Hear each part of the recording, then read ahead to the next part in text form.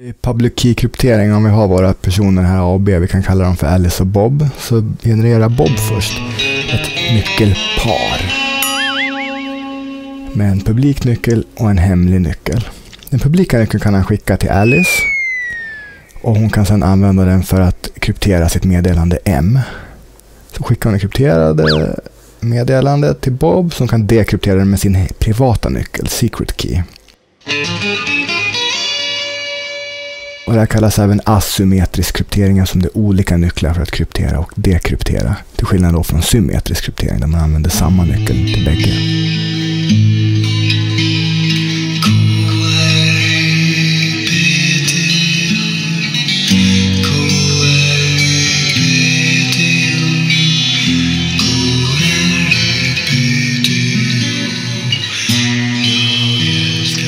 Tänker sig att man har två stycken mängder, om vi ska börja prata lite mer matematiskt här. En som vi kan kalla för M. Det är mängden av alla klartextmeddelanden. Och en som vi kan kalla för C. Mängden av alla kryptotextmeddelanden. Och sen tar man någon punkt i den här mängden. Vi kan kalla den för X. När man kör den via någon funktion här. Så, han, så blir det en punkt i den andra mängden. Och den kan vi kalla för Y. Och funktionen som mappar det här då, tar som input public key och X. Och ut då får, kommer Y. Det som är speciellt med ett public key-system, det är att den här funktionen är en, en envägsfunktion. Det går bara gå från X till Y.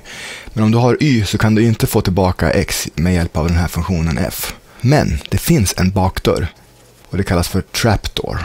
En trapdoor-funktion. Och då F-invers, det är bakvägen, F-invers. Och då tar du istället för public key tar man secret key som input och Y och så får man ut X. Eh, för övrigt är det kallas för en trapdoor-funktion. Trapdoor på engelska.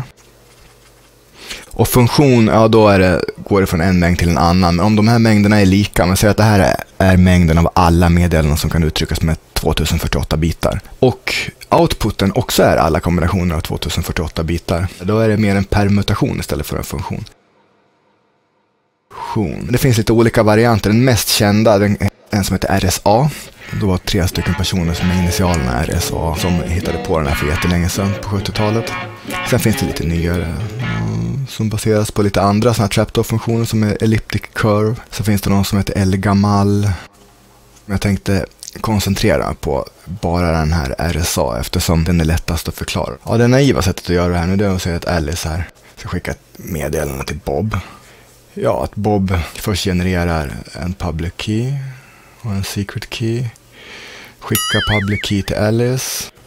Sen Alice tar sen bara direkt sitt meddelande M som hon vill skicka till Bob.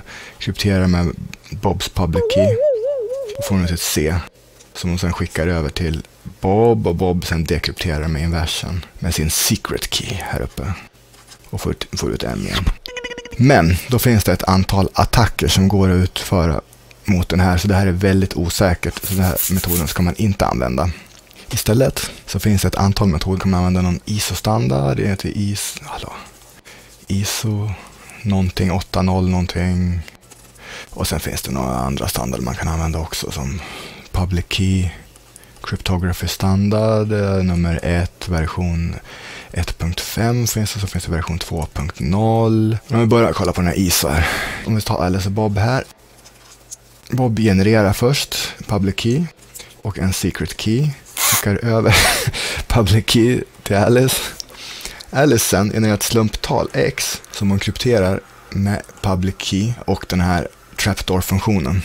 Så får hon ut en kryptotext y som hon sen kan hasha med någon hash-funktion för att få ut en nyckel som man sen kan använda i en vanlig symmetrisk algoritm. E kan vi kalla den för och S för symmetrisk. Till exempel AES 128.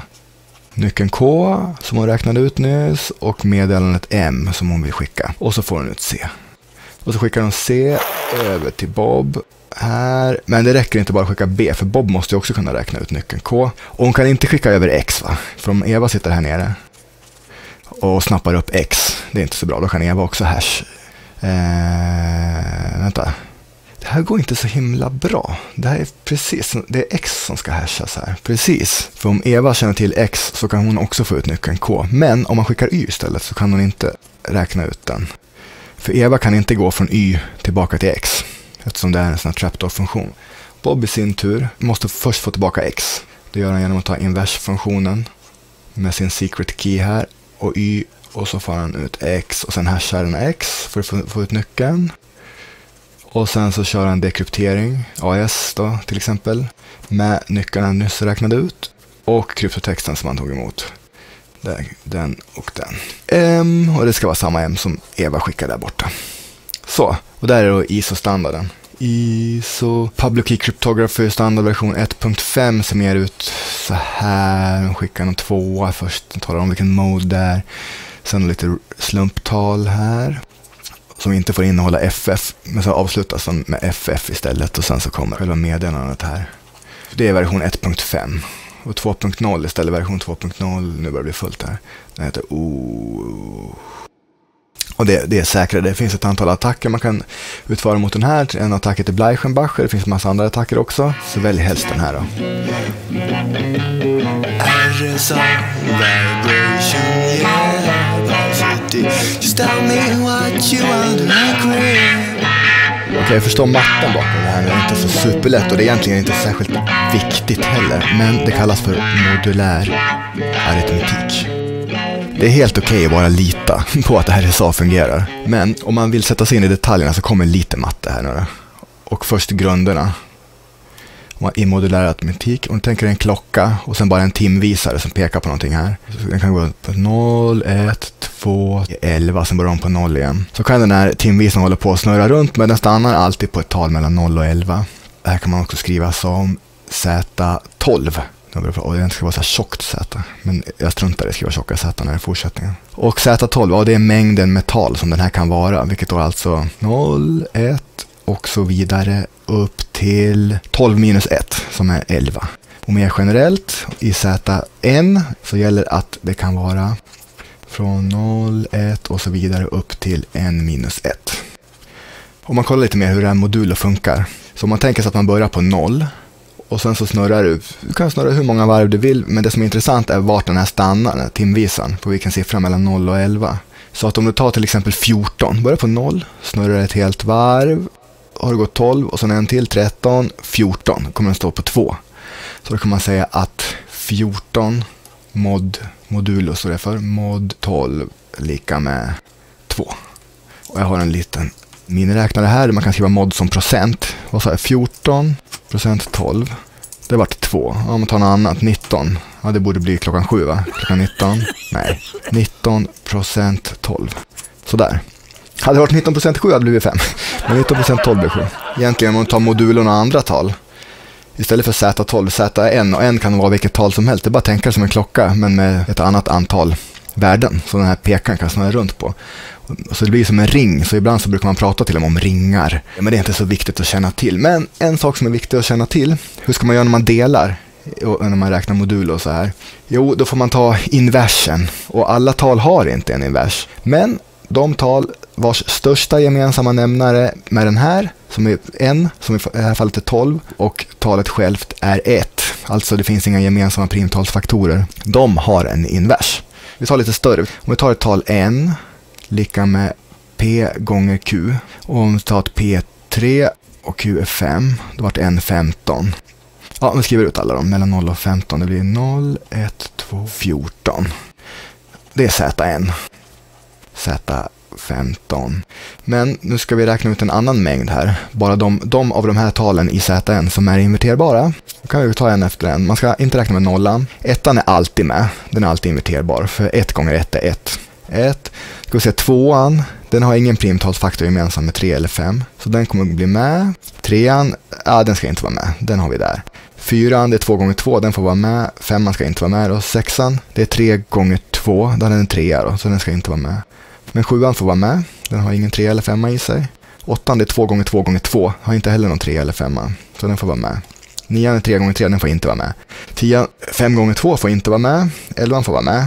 Tolvan, tre gånger två gånger två. Tretton får vara med i ett primtal och 14 är två gånger sju. Den är ingen trea, ingen femma, den får också vara med. Så den här gruppen med tal kallas Z15 stjärna. Det är mängden inverterbara tal i ZN. Och antalet tal här, ja det kan man skriva med sådana här. beloppet av den här mängden är 8 blev det. Och mer generellt, beloppet av Zn stjärna om n är en produkt av två primtal, p och q, är det är någon smart människa som har listat ut någon gång i tiden. P minus 1 gånger Q minus 1. Sådär, så kan vi kolla om det stämmer i vårt fall. 15 är 3 gånger 5. 3 minus 1 gånger 5 minus 1. Det blir 2 gånger 4 blir 8.